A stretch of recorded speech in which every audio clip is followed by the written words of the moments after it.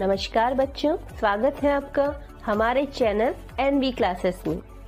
तो वीडियो शुरू करने से पहले दिए गए सब्सक्राइब बटन पर क्लिक करें और बेल आइकन ज़रूर प्रेस करें।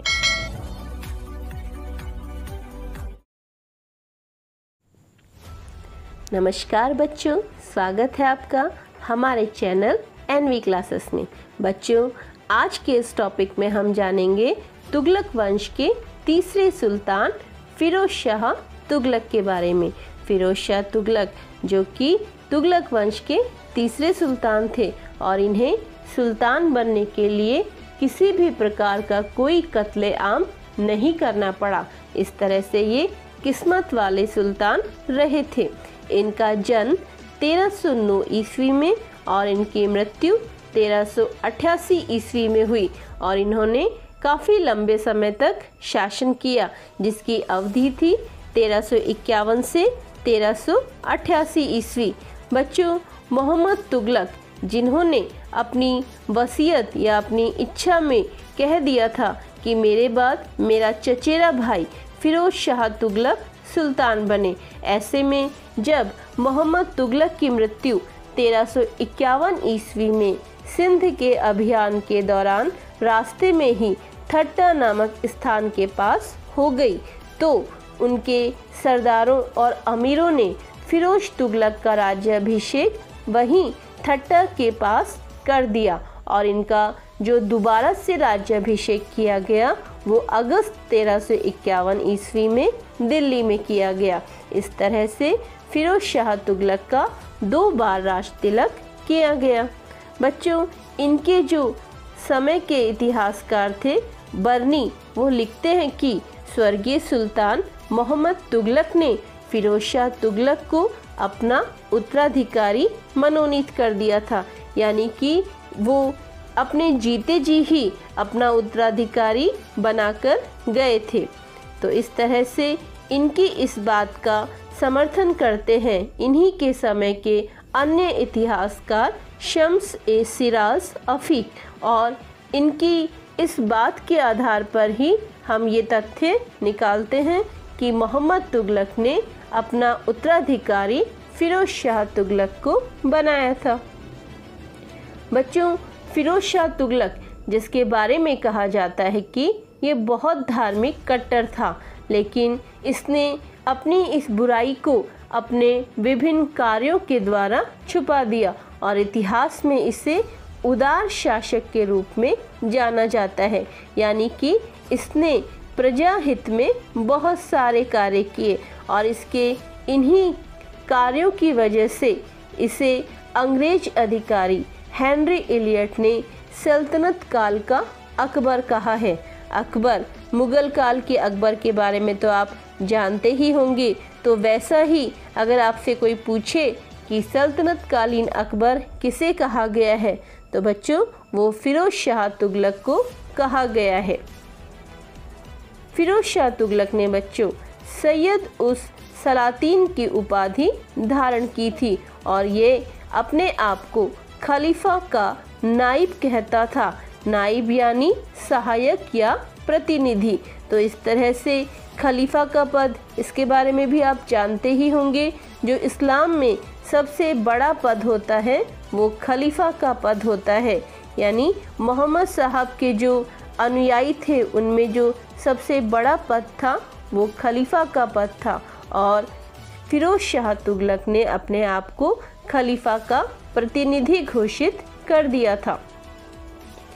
बच्चों, इसने अपने सिंहासन पर बैठने के साथ ही अन्य सुल्तानों की तरह साम्राज्य विस्तार की नीति नहीं अपनाई, बल्कि साम्राज्य विस्तार की नीति का इसने त्याग कर दिया, यानी उसे छोड़ दिया, क्योंकि ये जन कल्याण के कार्य करना चाहता था और इसका एक दूसरा नज़रिया भी था। ये समझता था कि अगर युद्ध होगा तो युद्ध में दोनों तरफ़ ही मुस्लिम सेना मारी जाएगी और मैं नहीं चाहता कि मेरे धर्म के लोग मारे जाएँ। इसलिए इसने युद्ध की नीति त्याग दी थी। लेकिन फिर भी एक सुल्तान होने के नाते कई बार इसे युद्ध करने पड़े। बच्चों, इसके शासनकाल में बंगाल में विद्रोह हुआ था। आपको याद ही होगा कि गाजी गयासुद्दीन तुगलक के समय में भी बंगाल में विद्रोह हुआ था। लेकिन गाजी गयासुद्दीन ने उसे सफलतापूर्वक दबा दिया। लेकिन फिरोज शाह तुगलक भी क्या ऐसा कर पाया? नहीं बच्चों, फिरोज शाह तुगलक ऐसा नहीं कर पाया। इसने बंगाल के विरुद्ध दो अभियान किए, जिसमें पहला अभियान इसका हाजी इलियास शमशुद्दीन के विरुद्ध था। लेकिन अपनी ही कमियों के कारण ये उससे हार गया। और जो इसका दूसरा अभियान था, वो हाजी इलियास शमशुद्दीन के बेटे सिकंदर के विरुद्ध था। लेकिन यहाँ भी ये अपनी उसी नीति के कारण हार गया कि मैं अपने ही धर्म के व्यक्ति का बुरा नहीं कर सकता। तो इस तरह से ये अपने इन दोनों ही अभियानों में बुरी तरह से असफल रहा, लेकिन इसने इसकी परवाह नहीं की। बच्चों, हम ये जान ही गए कि फिरोज तुगलक एक साम्राज्यवादी सुल्तान नहीं था, लेकिन इसने सुल्तान रहते हुए बहुत सारे कार्य किए, जिनके अच्छे और बुरे प्रभाव दोनों ही जनता पर पड़े, जिनके बारे में हम यहाँ जानेंगे। फिरोज शाह ने बच्चों कई परिवर्तन किए, उनमें से ही एक परिवर्तन ये था कि अब तक जो योग्यता के आधार पर सेना में नियुक्ति होती थी, उसे इसने हटा दिया। यानी इस पद्धति को इसने बंद कर दिया। इसने अब क्या किया? इसने ये किया कि इसने इस सरकारी और सेना की नौकरी को वंशानुगत बना दिया। यानी सैनिक का बेटा सैनिक बनेगा और उसके लिए किसी भी प्रकार की योग्यता आदि की जाँच नहीं की जाती थी। इससे क्या हुआ बच्चों? इससे इसकी सेना शक्तिशाली नहीं रही, क्योंकि सेना के लिए जो ज़रूरी गुण होने चाहिए, वो इसके सिपाहियों में नहीं रहे। और कारण या परिणाम ये रहा कि आगे चलकर इसके बाद तुगलक वंश का पतन होने लगा। बच्चों, फिरोज शाह तुगलक ने अन्य सुल्तानों वाली गलती नहीं की। इसने अपने जीते जी ही अपने बेटे फतेह खां को अपना उत्तराधिकारी बना दिया और सिक्कों पर अपने नाम के साथ ही इसने अपने बेटे का नाम भी अंकित करवाया। आपको याद ही होगा, गाजी गयासुद्दीन तुगलक को मरवाने में मोहम्मद तुगलक का नाम आता है। तो ये सारी चीज़ें ये देख चुका था और ये नहीं चाहता था कि इसका बेटा भी इसके खिलाफ किसी प्रकार का षड्यंत्र करे। इसलिए इसने अपने जीते जी ही अपना उत्तराधिकारी बना दिया। बच्चों, फिरोज शाह तुगलक को साम्राज्य विस्तार का शौक तो नहीं था, लेकिन इसने भवन निर्माण कला में अत्यधिक रुचि दिखाई। फिरोज शाह ने बच्चों, कई नए शहरों का निर्माण भी करवाया, जिनमें से मुख्य रूप से आते हैं हिसार, फिरोज़ा, फिरोज़ाबाद, जौनपुर व फतेहाबाद। फतेहाबाद, जो इसने अपने बेटे फतेह खां के लिए या उसके नाम से बनवाया था, और जौनपुर अपने भाई मोहम्मद तुगलक, जिनका वास्तविक नाम जूना खां था, उनकी याद में बसाया था। इस तरह से इसने नए शहरों का निर्माण करवाया और अपने साम्राज्य का विस्तार इसने इन क्षेत्रों में किया। इसके अलावा बच्चों, ये ऐतिहासिक चीज़ों के महत्व को भी समझता था। शायद इसीलिए इसने टोपरा और मेरठ से अशोक स्तंभ दिल्ली में स्थापित करवाए।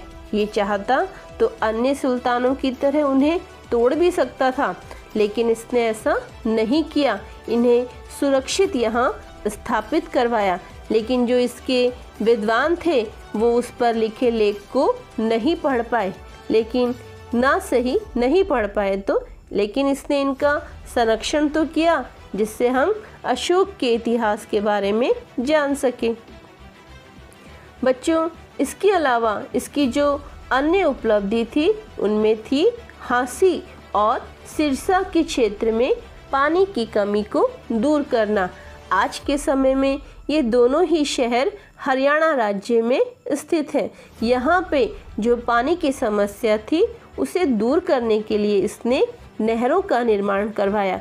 हम इससे पहले पढ़ चुके हैं कि गाजी गयासुद्दीन तुगलक ने सबसे पहले नहरों का निर्माण करवाया और उसमें विस्तार किया फिरोज शाह तुगलक ने।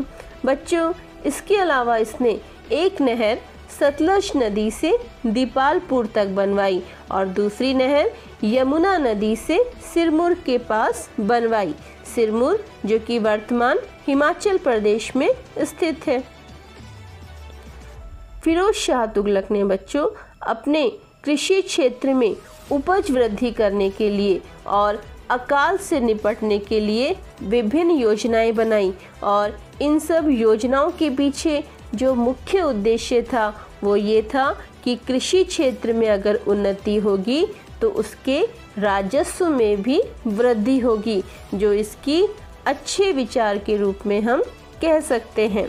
इसके अलावा फिरोज तुगलक, जिसे इतिहास में एक कट्टर सुन्नी मुसलमान के रूप में जाना जाता है, लेकिन इसकी एक कमज़ोरी बच्चों ये रही कि इसने अपने आप को कट्टरवादी, इस्लामिक अमीरों के हाथों में सौंप दिया। इसमें सौंपने का मतलब ये है कि उनकी इच्छा के विरुद्ध ये कोई भी काम नहीं करता था और उनके इशारों पर ही इसके सारे कार्य होते थे। बच्चों, इसने विभिन्न कारों को समाप्त किया, लेकिन इसके साथ ही इसने एक नई व्यवस्था शुरू की, जो कि इससे पहले के किसी भी सुल्तान ने नहीं की थी। कौन सी होगी वो व्यवस्था? बच्चों, वो व्यवस्था थी कि इसने ब्राह्मणों के ऊपर भी जजिया कर लगा दिया और तो और इसने अपने ही मुस्लिम शाखा, जो कि शिया के नाम से जानी जाती है। आप जानते ही हैं कि मुस्लिम धर्म दो शाखाओं में विभाजित है, जिसे हम सुन्नी और शिया के रूप में जानते हैं। ये खुद तो सुन्नी था, लेकिन इसने शिया समर्थक विचारधारा के लोगों को मृत्यु दंड तक भी दिया था, जबकि ये उसी के धर्म के शाखा के रूप में स्थापित थे। लेकिन सिर्फ़ विचारधारा में मतभेद था और इस मतभेद के कारण शिया समर्थक लोगों को इसने मृत्यु दंड दिया। बच्चों, इसने जो विभिन्न प्रकार के कर थे, जिनकी संख्या इसके समय लगभग 24 थी, इसने उन 24 करों को सिर्फ़ चार करों में बदल दिया। और तो और इसने जो गैर इस्लामिक सजाएँ थी, उन्हें भी बंद कर दिया। और इसने जो चार मुख्य कर रखे, उनके नाम हैं खराज, जक़ात, खम्स, जजिया। इन चारों करों के बारे में मैं आपको यहाँ बताऊँगी। खराज, जो कि एक प्रकार का भूमि कर था, जो सभी प्रजा से लिया जाता था। दूसरा कर आता है बच्चों, जक़ात। ये सिर्फ़ मुस्लिम प्रजा से लिया जाता था। और जो तीसरा कर था, वो था खम्स, यानी जो लूट का धन होता था। लूट का धन कैसे आएगा? दूसरे राज्य पे जो आक्रमण किया जाता है या जो सैनिकों के द्वारा लूट मार की जाती थी अन्य क्षेत्रों में तो उनसे खम्स के रूप में कर लिया जाता था। और जो चौथा कर था, वो था जजिया, जो सिर्फ़ गैर इस्लामिक प्रजा से लिया जाता था। तो विशेष रूप से गैर इस्लामिक प्रजा में कौन सी प्रजा आती थी? वो आती थी हिंदू प्रजा। तो इस तरह से इसने ये चार कर ही निर्धारित कर रखे थे। इसके अलावा बच्चों, इसे एक विचित्र शौक भी था। वो विचित्र शौक ये था कि इसे बहुत अधिक संख्या में दास रखना पसंद था और इससे पहले किसी भी सुल्तान ने इतनी अधिक संख्या में दास नहीं रखे थे और इन दासों की जो संख्या थी इसके समय वो लगभग थी एक लाख अस्सी हज़ार। और इन दासों के रख रखाव इनकी व्यवस्था, इनकी हर आवश्यकताओं को पूरा करने के लिए इसने एक विभाग भी बनवाया। और उस विभाग को जानते हैं हम दीवान ए बंदगान के नाम से। तो इस तरह से ये अपने दासों से बहुत स्नेह रखता था और उनके लिए बहुत अच्छी व्यवस्था इसने करवा रखी थी। इसके अलावा बच्चों, इसे एक शौक और था और वो इसका जो शौक था, वो था इसकी बागानी कृषि में रुचि होना। इसने इस रुचि के कारण बहुत से बागानों का निर्माण करवाया या बहुत से बागान लगवाए और दिल्ली में इसके द्वारा कई बागान लगवाए गए।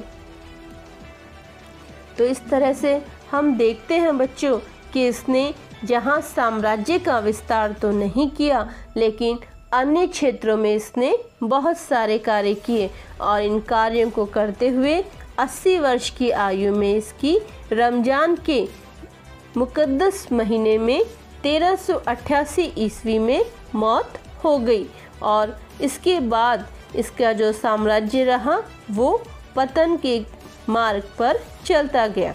इस तरह से बच्चों फिरोज शाह तुगलक ने अपने साम्राज्य का विस्तार तो नहीं किया, लेकिन इसने बहुत सारे जन कल्याणकारी किए, जिसमें से विशेष रूप से आता है कृषि क्षेत्र में नहरें बनवाना और नए शहरों का निर्माण करवाना और विशेष रूप से रोगियों के लिए स्वास्थ्य सेवाएँ उपलब्ध करवाना और इसके बाद के जो सुल्तान हुए, वो थोड़े थोड़े समय के लिए सुल्तान बनते गए और पतन के मार्ग पर अग्रसर होते गए, क्योंकि इसने अपनी सेना को सुदृढ़ नहीं रखा।